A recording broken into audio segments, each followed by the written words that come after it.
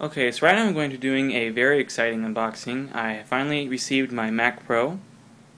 There it is right there, and it's huge box, weighs like 60 pounds. Um, it's a very big box. Has a you know the Mac Pro graphics on it. it says Xeon 64-bit workstation, things like that. So I'm going to start to open it. So we will cut right here.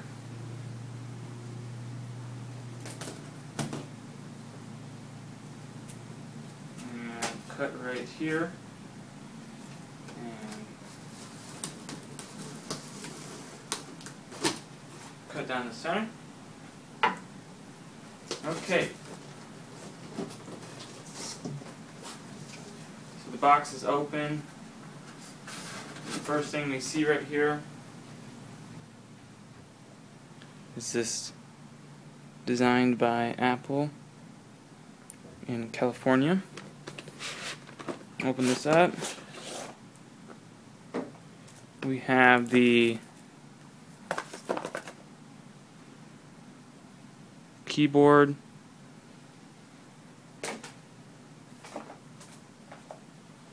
The extender for it.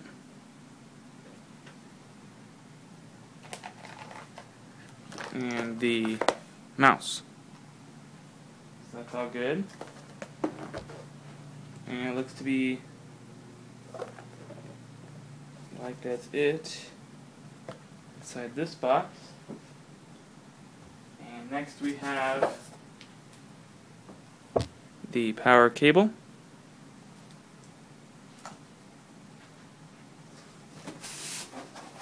And big foam piece. And here is the Mac Pro itself.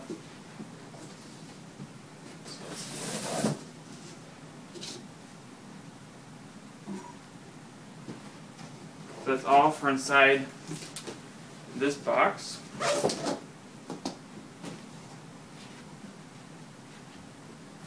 And here is the Mac Pro itself. So here is the front of the Mac Pro. We have the power, the uh, audio in, two USB ports, FireWire 400, FireWire 800. Now this is a used Mac Pro. I bought off eBay. It's not brand new, obviously. Um, so this is the 2008 model that still has the FireWire 400 instead of two 800s.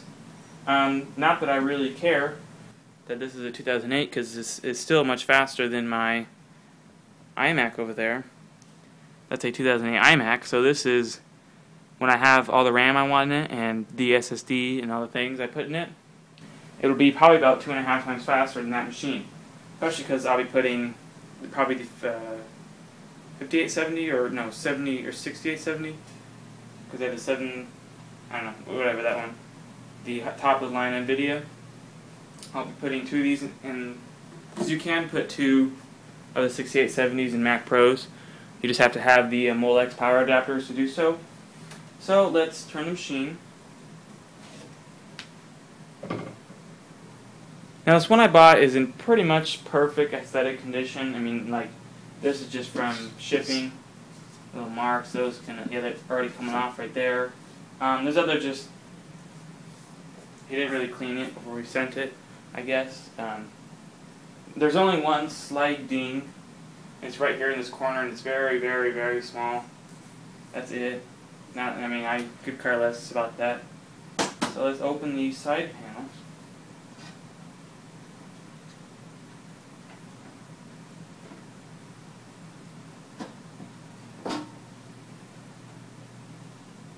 So, like in the uh, 2008, they hadn't done the redesign yet. So the 2008 still has this gray area, and the whole panel doesn't slide out, unlike new 2009 and above. And uh, so you still have the two riser cards right here for your RAM. You have two PCI Express times 16s, and then two PCI Express times 4s. But they're all full length slots. And uh, so I believe the graphics card inside here is the uh, Radeon like 2600X or X2600. Um, it's like 256 megabytes. I'll be upgrading that very soon. And for the time being, um, I don't have the. I ordered a 30 inch cinema display to go along with this. Uh, I used one also. It was about 900 or 800 dollars, and that should be coming soon. So uh, I'm just going to be using an HP 22 inch until I get the 30 inch, which would be way better than any other monitor I have right now. So uh, right here, we it looks like we have two 140 millimeter fans or 120, whichever they are, a rear 140 or 120, um, and your processors must be somewhere inside here. I'm guessing it's like the newer Mac Pro. There's our riser card with the 4 gigabytes of RAM in it right now. It has uh, four ones. But the cool thing is, is this uh, for about fourteen hundred dollars. This came with a 500, a 500, 500, and a 320. And what gonna be doing is putting my own 500 in this last slot, and doing a uh, a 4x RAID zero through these four drives.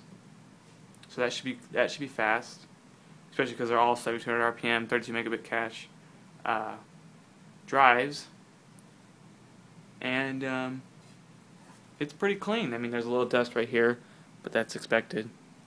All machines get a little dusty. We got the back of the machine with the two dual link DVI outputs. I believe they're dual link. Because um, this Mac Pro, if you had four of these graphics cards, would support eight 30 inch cinema displays.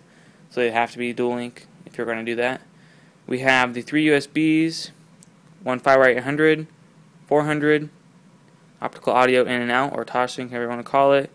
Uh, 3.5 millimeter in and out, dual gigabit, 10, 1, 100, 1000, however you want to say it, uh, in and out, or I believe those are both ends. So that's cool. I've never had a computer with duals.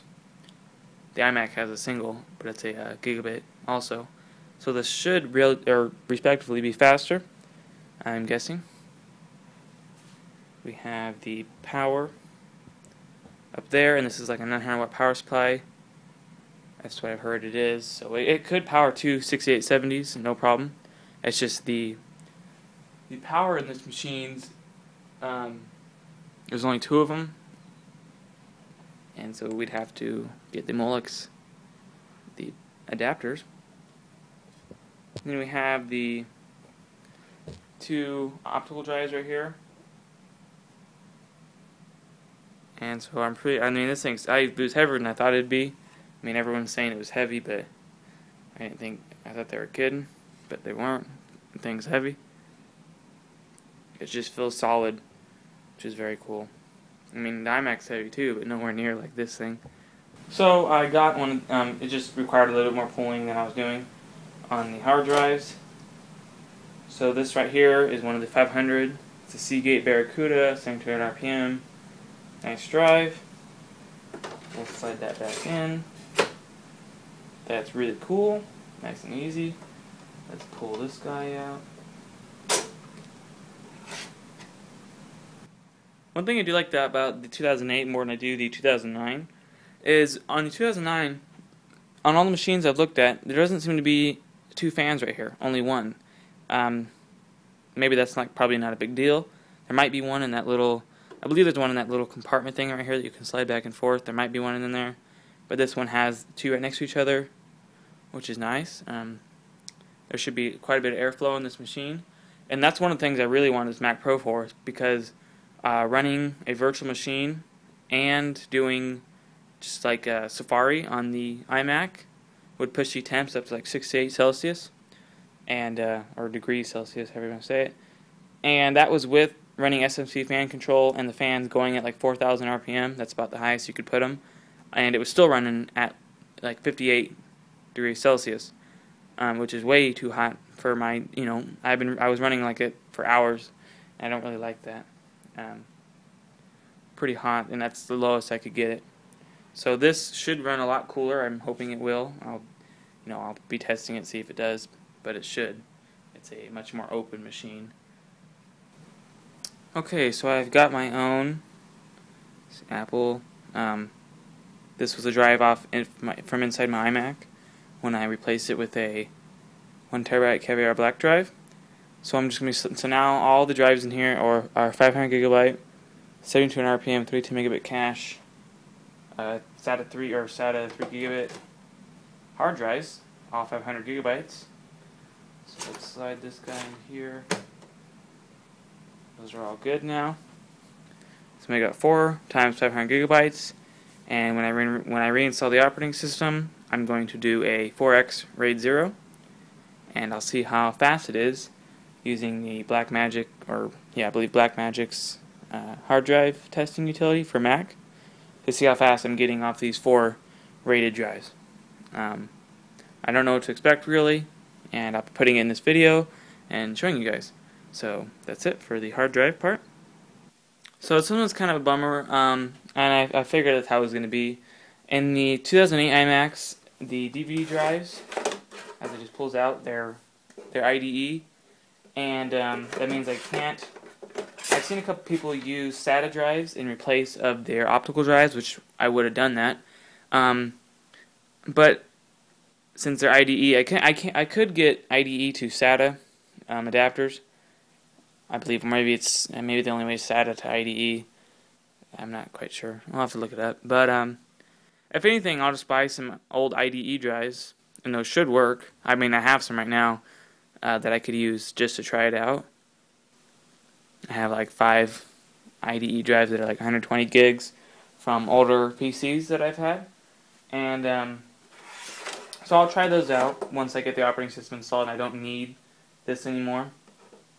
So it's kind of a bummer. Um, I was hoping it'd be SATA. That's what I get for getting an older Mac Pro, I guess.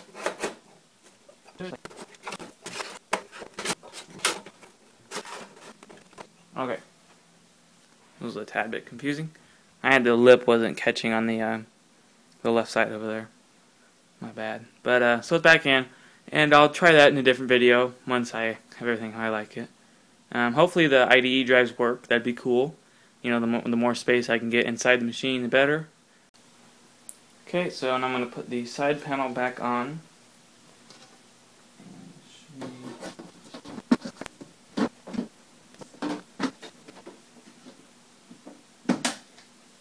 Okay. That was uh, harder than I expected. Um, they must have redesigned it in the the way the case panel went on, and the new ones must have had like a like a clicking or like you latch from the bottom, and then you pull it forward. Because this one's a little bit different, but oh well, um, it's still easy compared to other machines. So, and I'm going to be sliding it back to where it's going.